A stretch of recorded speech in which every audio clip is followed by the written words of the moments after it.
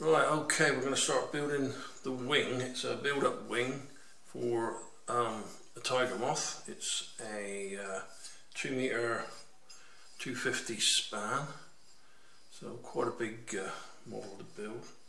Um, all cut on CNC router um, and using standard uh, 6, 8 mil balsa trailing edge 40 by 13 uh, leading edge is 10 mil round and the ply I'm using is a, um, a light ply. It's uh, made from a poplar wood. It's three ply, uh, so you've got a solid piece of wood in the middle and two pieces of cross grain on the top. It's very uh, flexible and very light, very strong. Um, and obviously it's cut lightning holes in um, to all the parts. This is a six mil part. There's a rib that uh, is six mil because of the uh, wing joiner uh, and the servo plate that's uh, out of six mil so uh, it holds the servo quite securely. Um, the other ribs are out of there with all the lightning in. That's the slots in there for the slots in there for the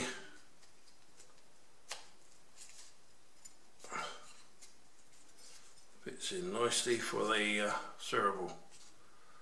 Okay, so we've checked everything out on it. All the edges have been cleaned up. I haven't cleaned up the the corners yet. I'll do that as I assemble the wing. But uh,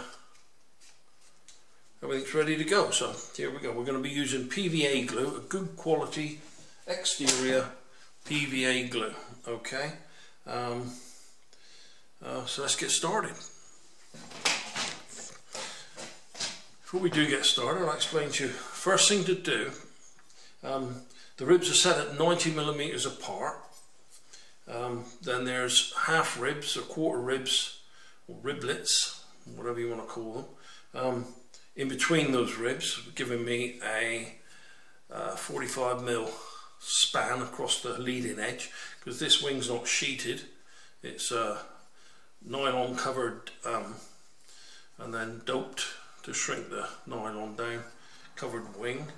Um, so we need to mark out the 90 mil lines. I like to mark out the 90 mil lines on the leading edge the trailing edge and the two spars that run up through the middle. That way we're working to those lines all the way along. There's not going to be a problem. We're not going to get ribs out of line or twisted or turning the, lifting the wing or doing anything like that. We can assemble it all being confident that everything's going to line up on those lines. Always work to those lines. Plus it makes it a lot easier to put in the webbing because we can cut that at uh, what's it going to be? It's going to be 80, 84 in most cases. When you come up against a 5 mil rib, it's going to be slightly smaller, so you might have to trim it. But we can cut that sheet of balsa and then slide it in, trim it. It's a, a, a parallel wing. The, the, every all the ribs are exactly the same thickness, so there's no need to um, to worry about the the different cuts. So um, we just slide it in, mark it, cut it, glue it all the way along the way. If we get the ribs the right distance apart, all exactly the same, to make it easy. If we put them in willy-nilly, we're to be trimming this and adding bits and so better do it. So let's let's get on with that first. Okay. Let's turn the camera. Come down onto our it's slightly difficult to show where I'm going and what I'm doing. So what have we got here? So we've got a couple of lead blocks to use. We got the leading edge. I've marked, uh, no, this is a spar, upper spar. So I've marked the spar with 90 mil lines all the way along, okay? From start to finish. Right then, so drop that down. This is the, that's the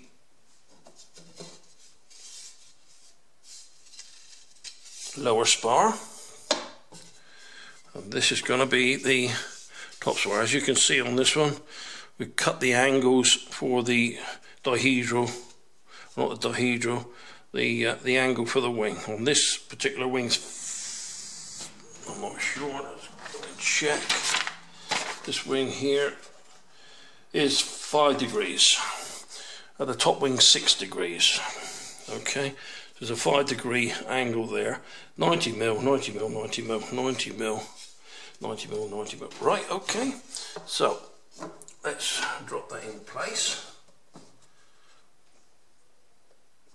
So as you can see, we've done that. Now we need to mark the trailing edge. The trailing edge is going to run from the tip line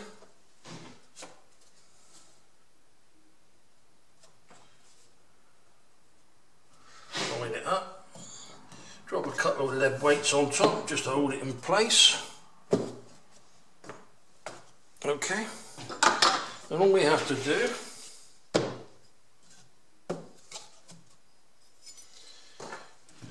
take our square, set to 90, drop it on here, run a line from here,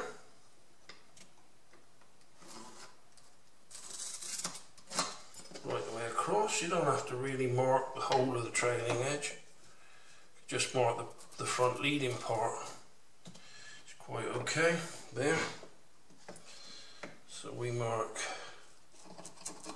this one here. Okay, line there, mark to there, up to there, there,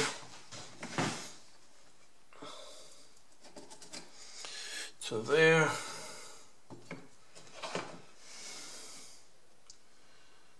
to there. these down there. There's that one there. Okay. Leading edge is here. It's a standard piece of 10 mil round dowel. To use. So we drop this in place.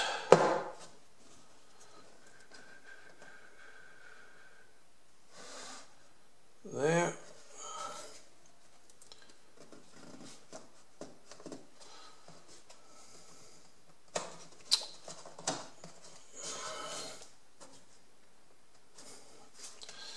that one there. Whoop, drop him in there. Pop that one there. Let's mark that one up.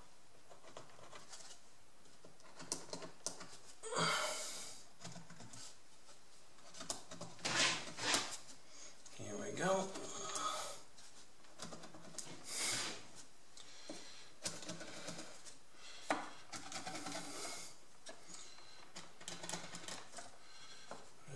there. Okay, so our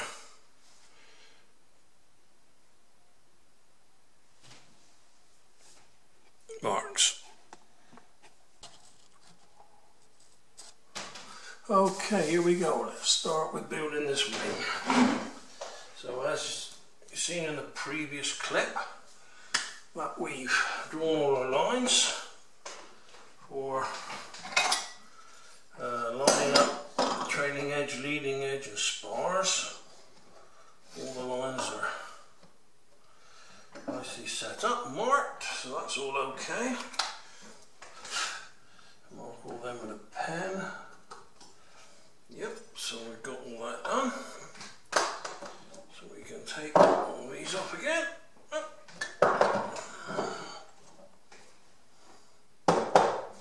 So that's uh, leading edge. You can see we've got all the marks there. Spars all marked there. One thing I'll say about this as well is that mark the ends with an arrow so we know that they're all the right way around. If not, we could get a bit of a ziggy zaggy going on. Okay, that's good. Right, everything's marked there. Need an edge, don't need that one at the moment. Trailing edge, don't need that one at the moment. We just need the lower spar. Now, on the, on the drawing board,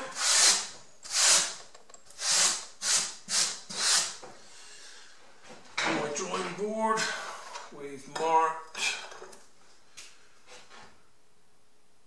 the angle, specifications here. So we've got dihedral of 5 degrees, 5 degree line marked here. Okay, that's the tip down this end.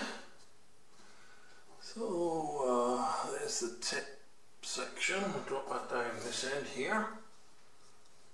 Okay, it goes down about there. Spars are coming in on this line here.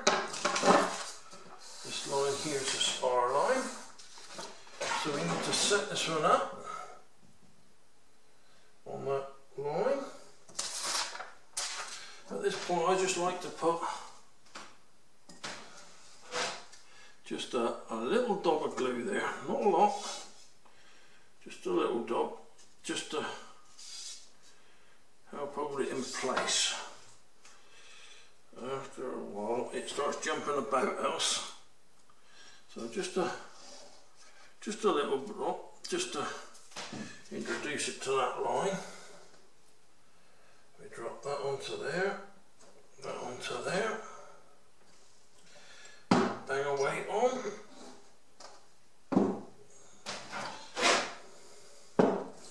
This is where your choice of wood is uh, important. And make sure we get a nice straight piece of timber. That's good, both are dead straight. There we go, just leave that there a couple of seconds, that will dry. There's our, right, let's uh, have a look and see what we're gluing. So, we've got riblets, whoops, there.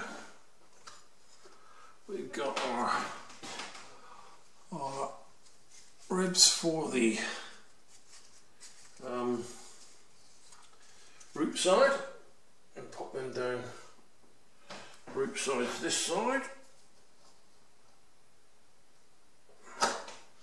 There. These are all our aileron ribs. To go down this side, we've got two special ribs in amongst these. Those two there. That's the end rib up here. These go as and when we like. Uh, let's put a big rib in there. There. There. There. There. There. Um, it was uh, so look, one, two, three, four, fifth rib in. One, two, three, four. Fifth rib in is this one and this one. So that's okay there. That's what we're looking at.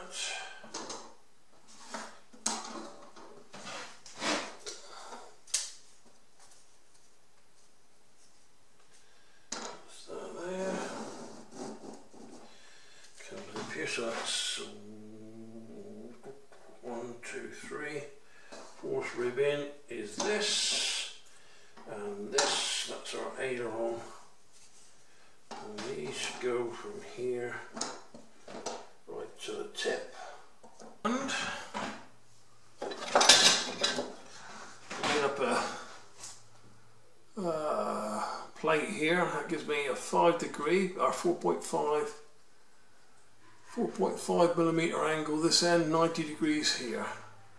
Okay, so we know that this one, we've got a 4.5 degree dihedral on the wing.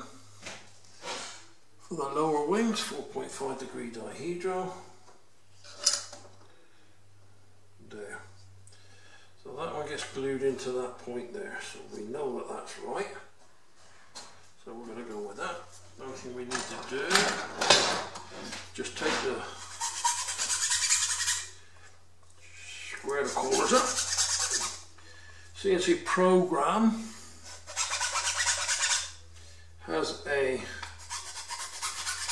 facility on it to to cut these corners out. It's because I'm using a, a 3 mil router bit. It gives you 1.5 mil radius in the corners everywhere. On a square cut, it will give you a 1.5 mil radius. It's just a matter of nicking that out with a file. The CNC, you can set it to go in 1.5 mil in both directions, but it does give you a bit of a weak points to those areas. So I prefer just to do it with a with a with a file. Doesn't take very long. It does mean you can set the gap you want for the glue as well because uh, if it's too tight it's going to push so much glue out it's not going to uh, you're not going to have a nice joint. If it's too loose you're losing strength. So we need to set this one at the right angle hold him in place there that will do us here one of these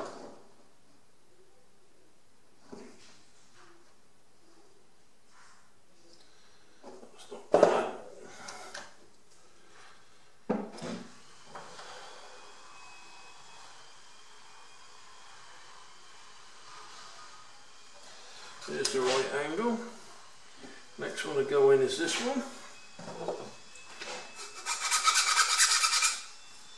Let's get these uh, cleaned out nicely. And you see it's just a,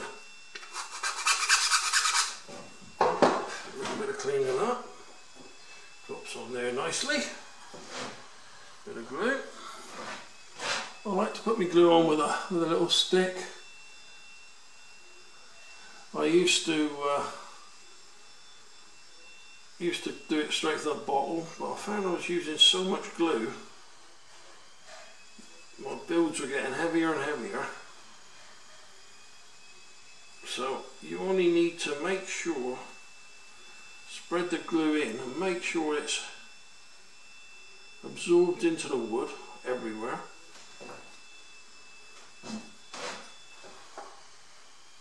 when it touches onto the dry wood at the bottom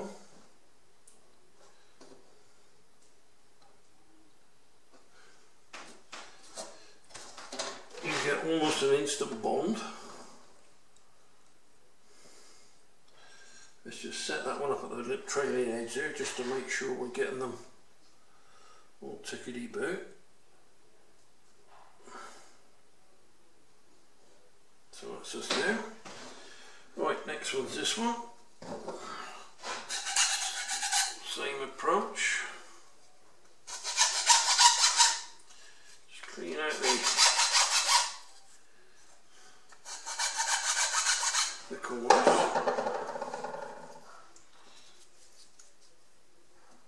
Let's get some glue on there.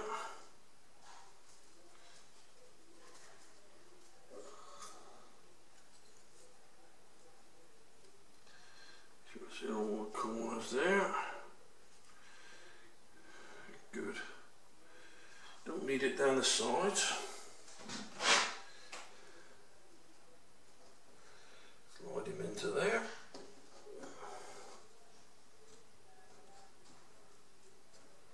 Just use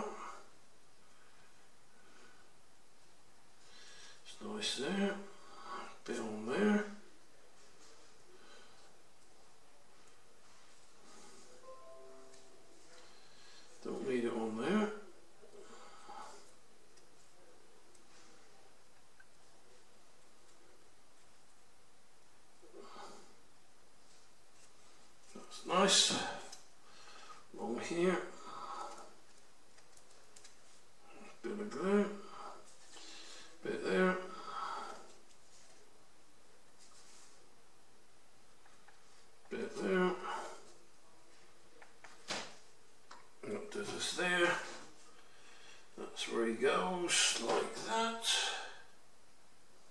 Goes in there. That, oops.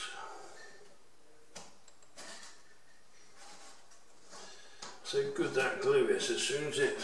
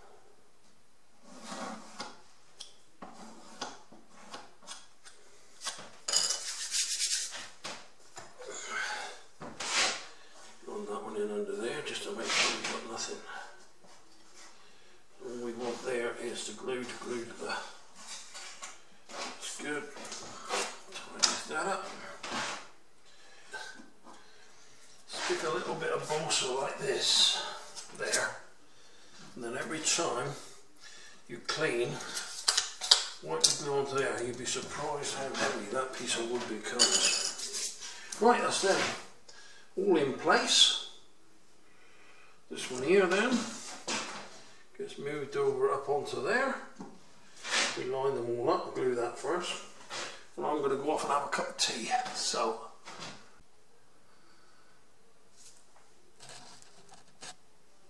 Right, okay, we're back. So let's have time to dry. Just check we're still on the lines. Yes, we're good there. Let's check our angle of our Yep, he's good. I think there's okay. Right, so Next job, wire some glue all along here. More glue in there. Oops.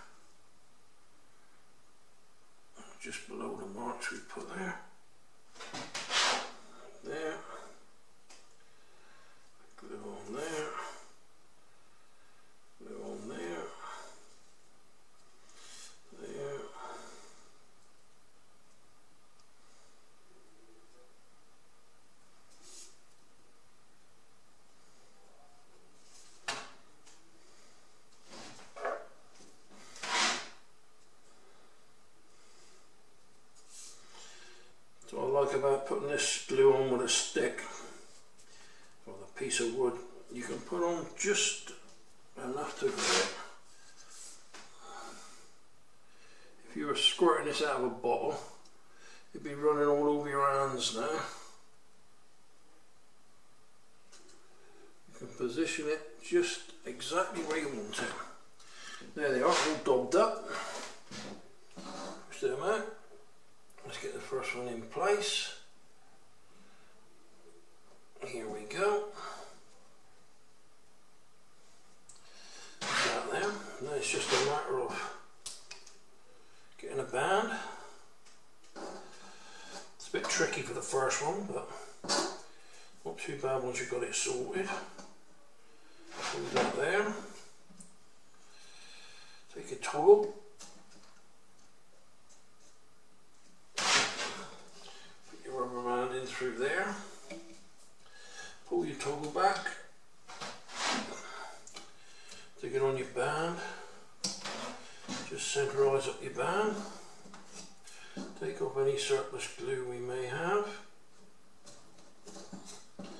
just line them up onto that. Onto our lines there. Let's do one down the end. Take the lead weight out pop him on top. So he goes under there. Toggle goes in.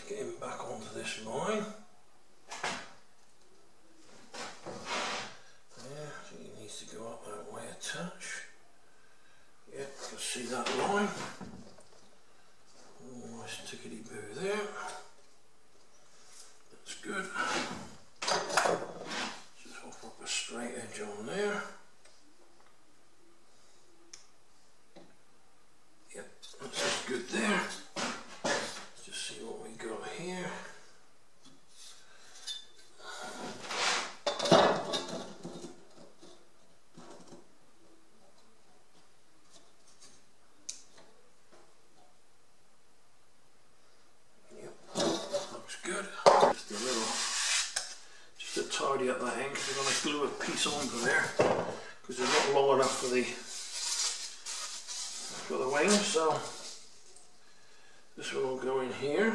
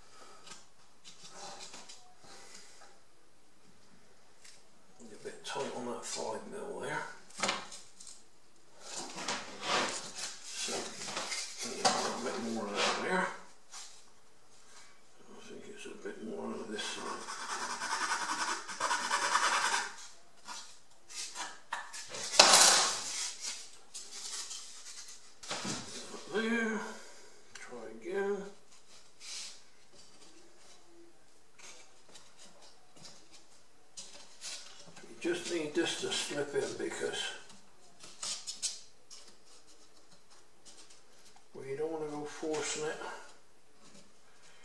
when it's got glue on it. There it is, it's in. That's how we want it there.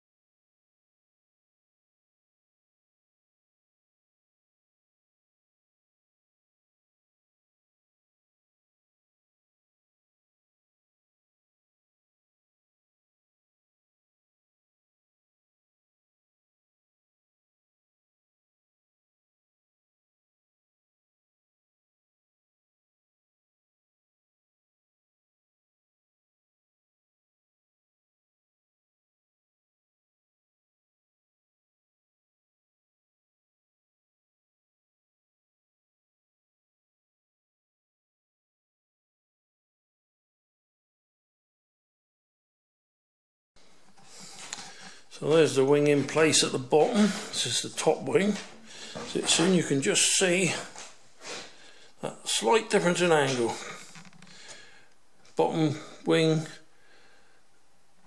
sweep back is six degrees, uh, seven, six degrees, and top wing's five.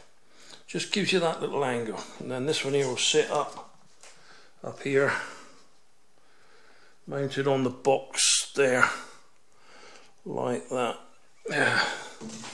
If you're wondering what these are, what I do is these get mounted in the wing, in the box section of the wing. They'll get mounted about here somewhere.